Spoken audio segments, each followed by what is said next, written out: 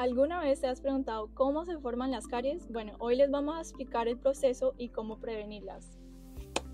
Have you ever wondered how caries are formed? Well, today we're going to talk about that process and how to prevent them. La bacteria en tu boca se alimenta con el azúcar que consumes y ese es el comienzo del proceso de las caries. When bacteria feed on sugar, they produce acids, which can weaken your enamel, the outer protective layer of your tooth. Con el tiempo, esos ácidos van a atacar el esmalte y crean pequeños huecos, y eso se convierte en caries. If a cavity isn't treated, it can get worse, eventually reaching the deeper layers of your tooth, causing dental pain and infection.